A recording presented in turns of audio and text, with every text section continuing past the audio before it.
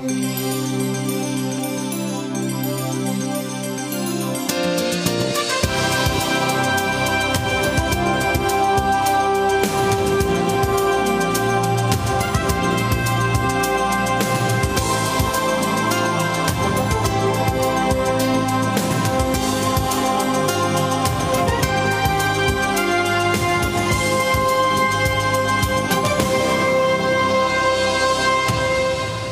afternoon and welcome once again to the group exhibit for hydrogen fuel cells and batteries here at the Hanover Fair 2017. Please uh, come in, sit down, and enjoy complimentary beverage.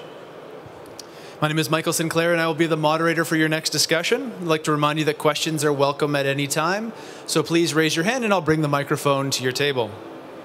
Here to talk about new developments in advanced air blowers and controls for fuel cells, I have the CEO of Virex, uh, uh, Vairex Air Systems, uh, please join me in welcoming Mr. Ski Milburn to the stage. Thank you, Ski. Thank you. Thank you.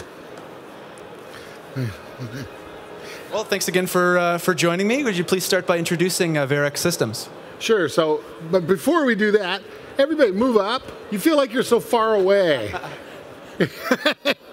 What's the problem here? You're afraid of me? while you're moving, I'll tell you. So, Vairex Air Systems was started by me 30 years ago, um, even before the hydrogen and fuel cell group exhibit. And uh, we've been in the fuel cell business a long, long time. And uh, it's great to be here. We've been a many, many time exhibitor at the Hanover Messe. And we build air systems. You know anything about fuel cells, you've heard about hydrogen. You know they run on hydrogen. But what fuel cells do is they take fuel and air, and they convert it directly into electricity without combustion. And in order for that to happen, the air has to come from someplace. And so we specialize in building that machines that pump air into fuel cells. And we we're focused on the 1 to 30 kilowatt space, which is you know house power in Asia, forklifts in the United States, range extenders in, in uh, Europe and China. Um, we like to think we're the best at it. We're one of the few companies in the world that is 100% focused on being a supplier in the fuel cell air system business. We actually make a living, if you can call it that, um, in the fuel cell business. So I'm really, really happy to be here. And thanks to all of you for listening. Great. So it sounds like you're mostly focused on mobile applications. Is that fair to say? Uh, a lot of mobile, like, but is a forklift mobile? Yes, a lot of our technology runs on rubber tires. Um, but we also do stationary distributed generation. We're, we're agnostic. We don't care if it runs on wheels or it sits on the ground, and we don't care if it's solid oxide, PEM, direct methanol. I mean, we've got a little, we've got a hand in a little bit of everything. So you mentioned that you uh, you think, yeah, and you maybe you are the only blower company that's operating only in the fuel cell industry. What makes uh, your blowers ideal for fuel cell applications? Well, it, they, almost one goes with the other.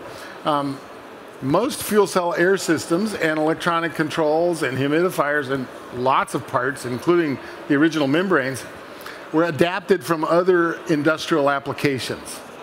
And so people came in the fuel cell industry, they took what they could find, they kind of went to the hardware store and, and bought the parts they could get.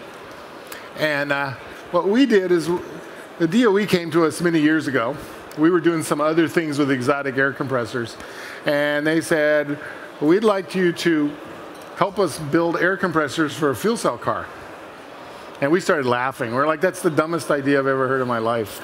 This is 30 years ago, right?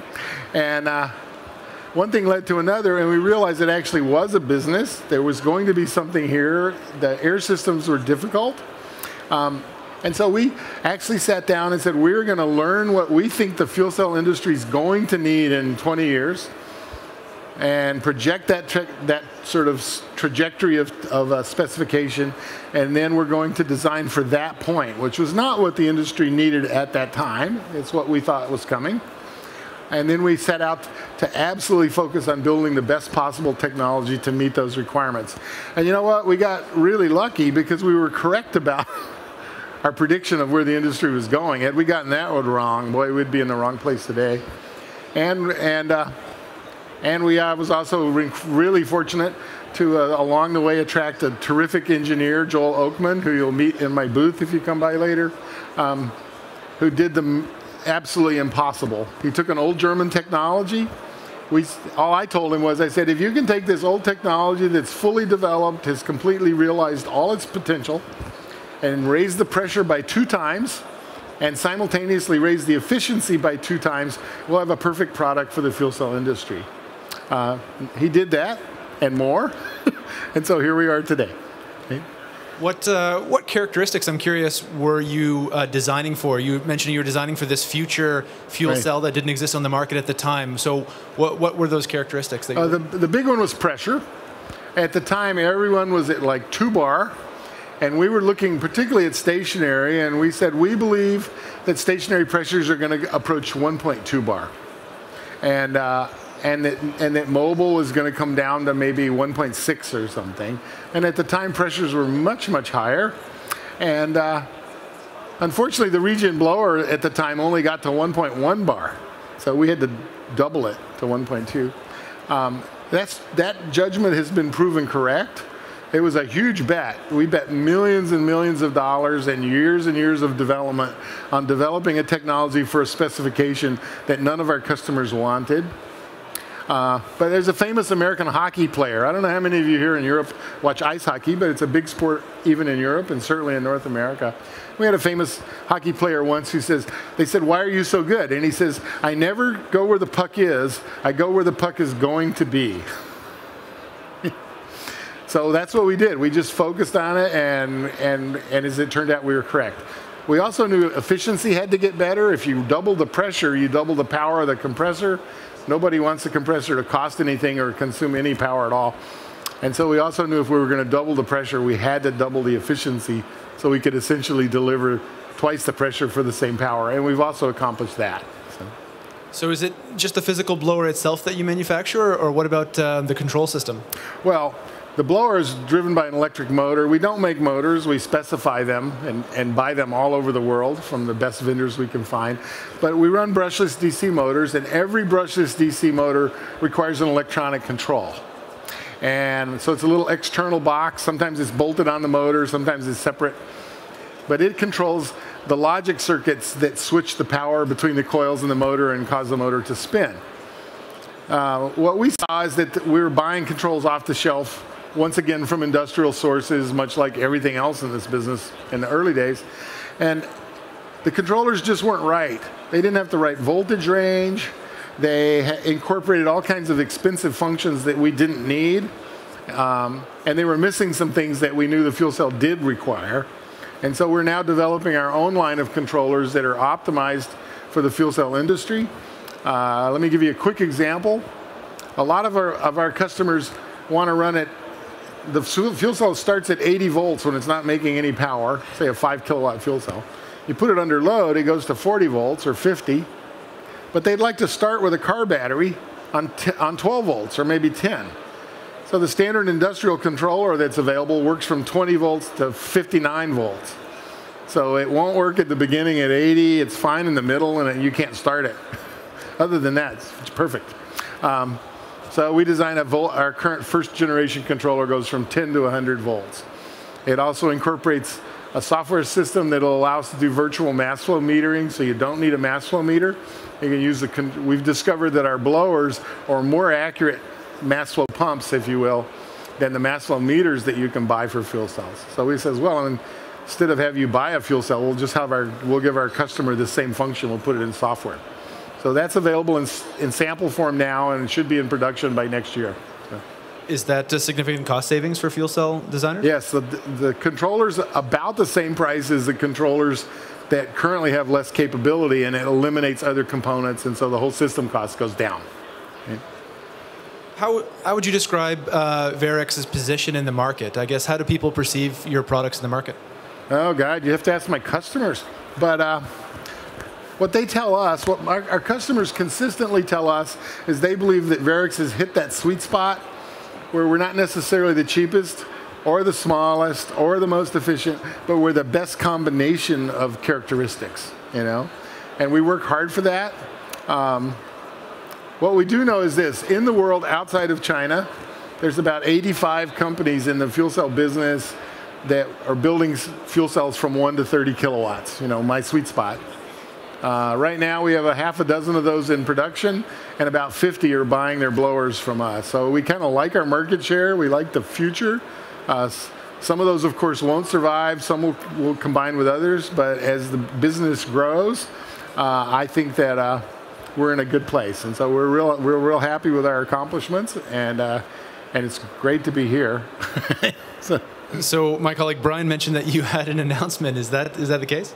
Well, I told him I would tell him what it was, but I have to kill him, and I unfortunately have to tell you the same.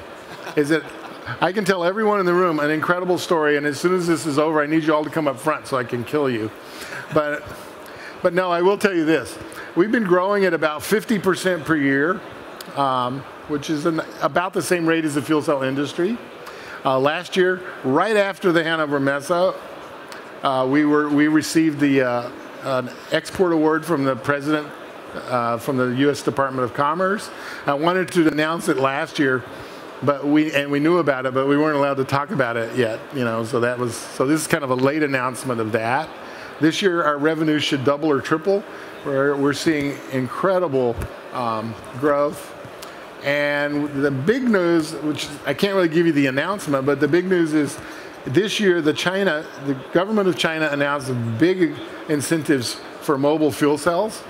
Uh, this is mostly in the 30 kilowatt category. It's for urban transportation, uh, and we hope by long before we come back to the Messe next year that we will have a huge announcement about that. Uh, we were joking before the show that next year I plan to come in on screen on a on a uh, YouTube video from Thailand or someplace. I'll be on the beach and I'll say goodbye. Uh, so you talked about some of your product's features. You talked about how it has um, the new controller has integrated uh, mass flow uh, measurements, um, that it has a higher voltage range. Is what are the um, I guess are there other technical features with your blowers that are unique in the market? Um, well, one of the things we've been doing is the, our blower has one moving part. Is know, I went to mechanical engineering school, and I'm pretty sure that one moving part is the absolute minimum, minimum number of parts that a machine that has moving parts can have. So it's about as simple as you can get. It is literally a motor with a propeller on the end. Now that propeller has millions of dollars of development and a U.S. patent and patents pending in other countries around the world. Um, we've been doing a lot of testing at, with us and with customers, and, and uh, we recently completed a field trial in Austria with an Austrian company, and they came back after they ran these things 24 hours a day for six years in a forklift environment. We know they're bouncing off the walls and slamming up against pallets. You know, it's like the toughest environment you can imagine. And at the end of the test, the test continues, but at the end of the first six years, they came back to us and said, it's the only component on the whole fuel cell or the whole forklift truck, not just the fuel cell, that didn't have to be replaced. The stacks had to be replaced, the humidifiers had to be replaced, the tires had to be replaced.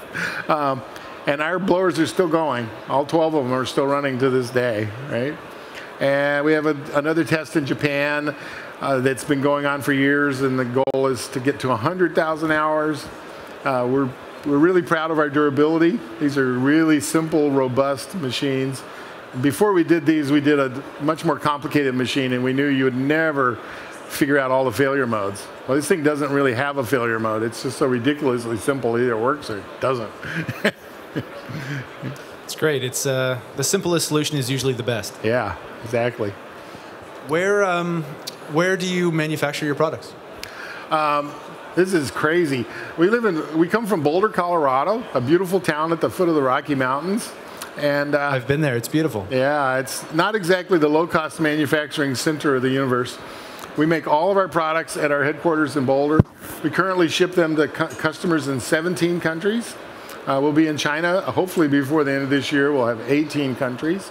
Um, and eventually, we, one of the things we think is happening is that there's this idea called globalization, which is people chase the cheapest place in the world to make stuff. You know, once we went to Japan, then we went to Korea, then we went to uh, Thailand, and then China, and maybe next at Madagascar or something.